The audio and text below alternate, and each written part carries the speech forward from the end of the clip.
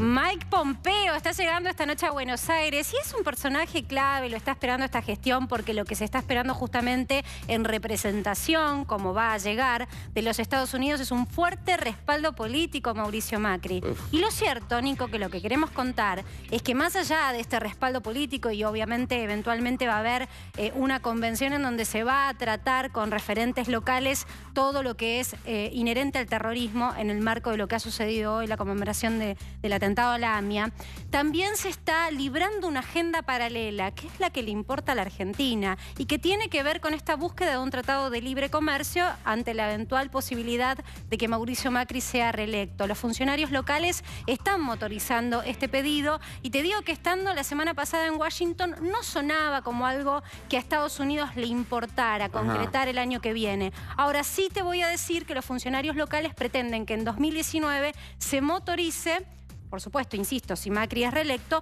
este tratado de libre comercio. ¿Quiénes se reunieron hoy y estuvieron trabajando sobre esto? El titular de la AmCham, la cámara que agrupa a las empresas de capitales estadounidenses en Argentina, Alejandro Díaz. Son muy importantes empresas de primera línea y que además son empresas que invierten mucho dinero, por eso digo que es importante, con eh, el representantes del Departamento de Estado de los Estados Unidos y de Comercio. Allí estuvo em, Kimberly Breyer, que quiero leer porque es la subsecretaria de Estado para el Hemisferio Occidental. Ese es el cargo local, pero la verdad es que está teniendo mucha preponderancia en estas negociaciones. Desde la AmCham, desde la Cámara, desde las empresas y ejecutivos que participaron de esta reunión, están tratando de hacerle entender a Estados Unidos cómo podría haber fluidez. ¿Y qué quieren hacer básicamente? ¿Un tratado de libre comercio para vender productos agrícolas a Estados Unidos? No, no va por ahí. Lo que quieren es establecer un tratado que facilite las inversiones de Estados Unidos a Argentina. ¿En qué? En economía real. Porque lo que se está observando es que lo que sigue como capítulo pendiente de la próxima gestión es motorizar a las empresas locales, a las pymes. La industria en Argentina tiene que mejorar para ser competitiva en el mundo. Así que lo que están tratando de ver es cómo puede hacer eh, cómo se puede generar un tratado en donde se genere cierta, cierta, estabilidad para que lleguen esas inversiones y que no solamente sean las inversiones financieras las que abran la puerta de Argentina y entren y salgan, sino también inversiones en economía real y particularmente en pyme y empresas. ¿Puede haber alguna sorpresa, eh, algún anuncio sorpresa o algo, algún tema que no se conozca eh, y que surja mañana?